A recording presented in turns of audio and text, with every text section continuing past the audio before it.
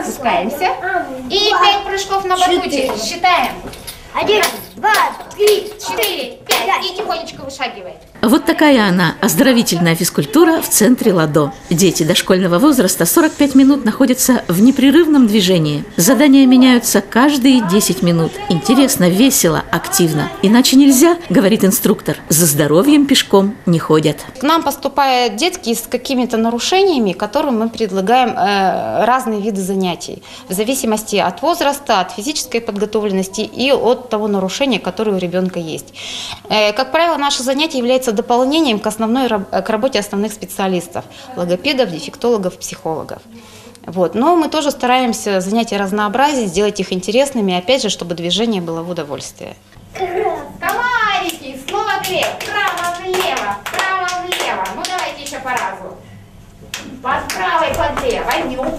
Примерно 60% современных школьников страдают от гиподинамии, а особенно это касается подростков. Раньше учителя часто жаловались на то, что дети гиперактивны, а теперь вынуждены признать, что детям угрожает гиподинамия, или, как ее еще называют, гипокинезия. Оздоровительная гимнастика в центре ЛАДО решает сразу несколько проблем.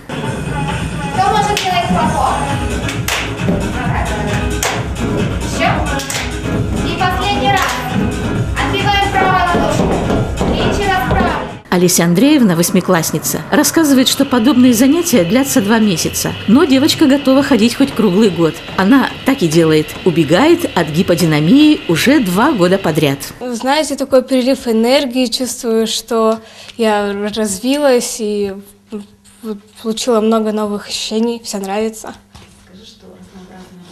Да, и на каждом занятии мы работаем с разным оборудованием, все очень интересно, познаем много нового и учимся работать с новыми э, вещами, оборудованием. Цель наших занятий, э, во-первых, все равно на первом месте привлечь детей к активной двигательной активности, чтобы занятие было в удовольствии. И через физическое развитие помочь преодолеть им какие-то нарушения.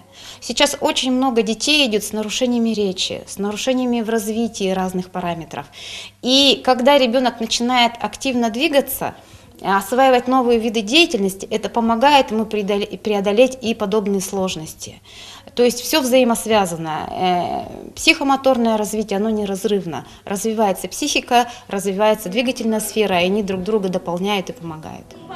Итак, спасение детей в повышении двигательной активности. А какой она должна быть? Как ее измерить? Это вы узнаете из нашей программы «Что такое хорошо» и «Что такое плохо». Комментарий даст специалист из центра «Лада», инструктор Светлана Толстова. Ольга Фролова, Сергей Чижов. Новости «Твой день».